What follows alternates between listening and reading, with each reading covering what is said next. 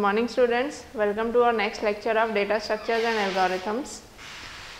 In today's topic, we will study about representation of binary tree. In our previous video, uh, in our previous videos, we studied about the tree, tree introduction, tree terminology and introduction of binary trees. So today we will study about representation of binary tree that is how a binary tree can be represented. A binary tree is the, uh, let me uh, again conclude that a binary tree is a tree in which each node is having at most two branches. At most two branches means any of the node present in binary tree can have at most two branches. That means either 0 branch or 1 branch or 2 branch but no not more than 2 branches are allowed. If any of the node have 2 branch more than 2 branches then that tree will not be considered as a binary tree. So that was uh, so this was the basic introduction about binary tree. Now we will study about the representation of binary tree that is how we can represent a binary tree. There are two ways of representing a binary tree. First one is sequential or array representation and second one is linked list representation. Since uh, from starting we are always studying that array is mainly used to store one dimensional data into memory. One, one dimensional data into memory. Array is mainly used for storing one dimensional data in memory. So, array representation or sequential representation of tree uses array to store the nodes of the tree. Nodes of the tree that means the nodes that are present in the tree are represented using array using array and in that into sequential form and though and that array uses one dimensional data to store the nodes of the tree. So, uh, let us understand this sequential representation or array representation using this example. This is an example of a binary tree. The, we are having this a binary tree. Let us first check whether it is a binary tree or not. M is the root node of our tree. M is having two children N and O. Further looking down the levels N is also having two children P and Q and O is having R. Any node, not a single node in this tree is violating the property of binary tree. So all the nodes are fulfilling the property of binary tree. So it is a valid binary tree. Now we will see that how we can represent this binary tree into sequential representation or array representation we will study that. First of all what we will do we will give numbering to our nodes. Numbering to our nodes means we will assign numbers to our nodes starting from the root node to the last node last children of this binary tree. Now we always know that the array, the address of the array always starts from 0. So, for this sequential representation or array representation, what we will do, we will always start our first node with 0. That is why we have represented here this root node with 0. 0. So, we will always always keep this thing in mind, we will always represent root node with 0 okay after representing root node with 0 we will move towards the left side of the root node and assign next number to it. That means on marking m that is our root node with 0 we will move towards the left side of m that is n and we will number it as 1 then we will move towards the right side of root node m and number it as 2 now this uh, level has completed means the both the left child and right child of root node are visited. What we will do we will again move towards the left side of the first child left child of root node. That means what we will do on completing this next level on completing the, this next level we will move towards the left hand side of the again further down the level. So after numbering 2 O as 2 we will move towards the left side. Left we are having P. We will number it as 3 Q as 4 then we will move towards the right side of root node M. Right side of root node M since no left child is present no left child of node O is present. So, we will not consider its number and then we will move towards the right child of node O and we will number it as 6.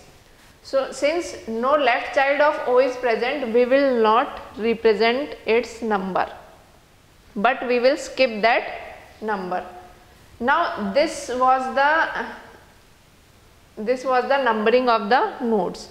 Now how we can represent these nodes into the array? We will see that. We, what we will do we are having a memory and in mem in that memory we are having an array.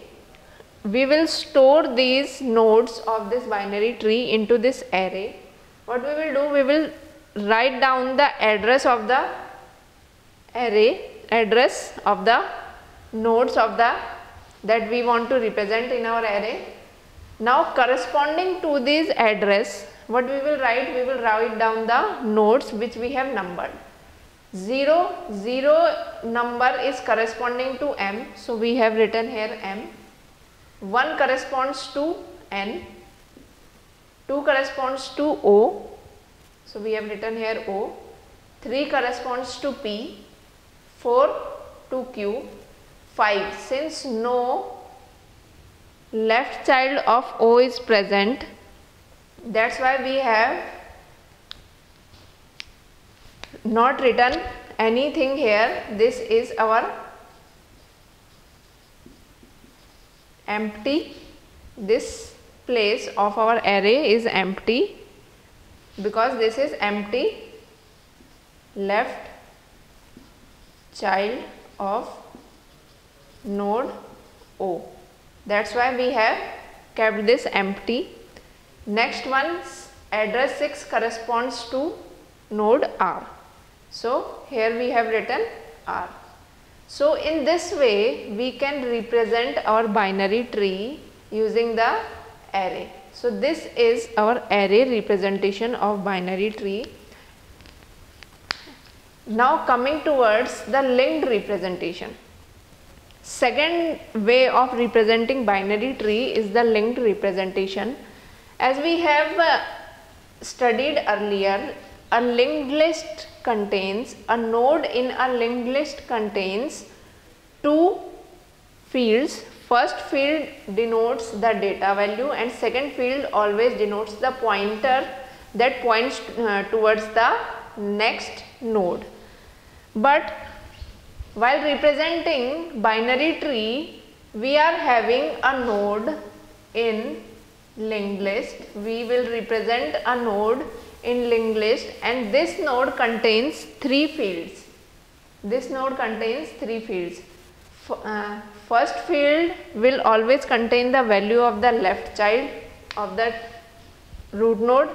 Second field will always contain the data value of the node and third field will always contain the value of right child of the node.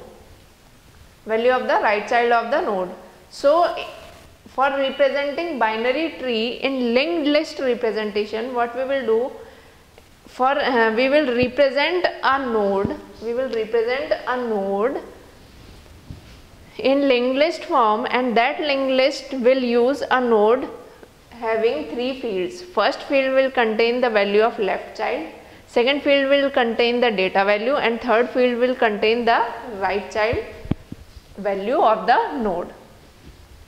So here we are having, we are, we can explain this node using this example.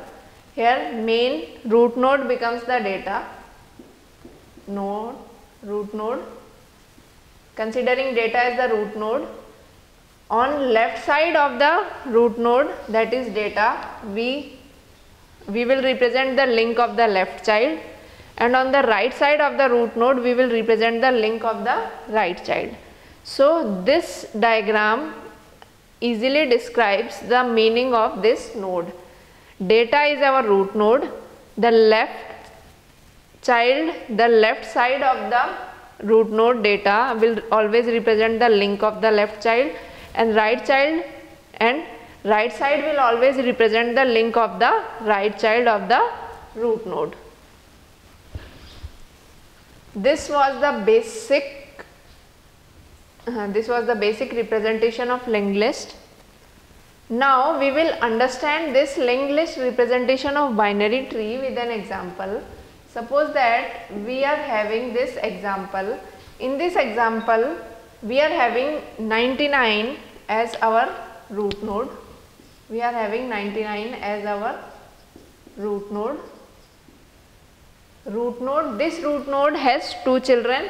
First one is 88 and second one is 77 further moving 88 has also two children 66 and 55 we will number it as 3 and 4 moving towards the right side of root node we are having 77 77 does not have any left child so we will avoid the numbering of this left child we will make it empty and 44 is the right child of this node 77. Now how we can represent this binary tree into linked list representation is shown here. This is our linked list representation of binary tree. In this 99 is our root node that means 99 is our root node we are representing in the middle field of the linked list that we have discussed here. Middle field will always contain the data value.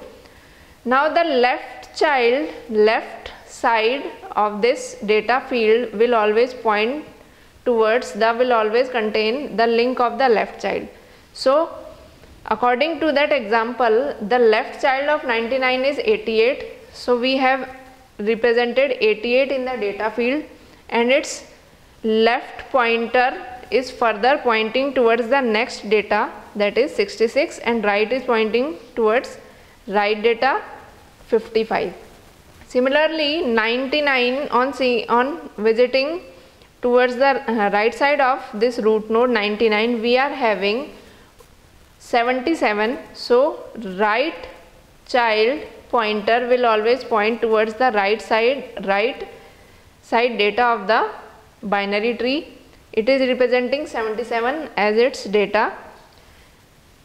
Further, since no left child of 77 node is present, so we will mark it with cross, we will mark it with X because no left child is present of 77 that's why we are marking it with X. That means no left child of 77 node is present and the right side right pointer of the node 77 will point towards the right child that is 44 since no further nodes are available so the left pointer left child and right child of these last nodes will be pointed using will be represented using the x so in this way we represent the binary tree using linked list this was the linked list representation and before that we have discussed this array representation. I hope you all have understood.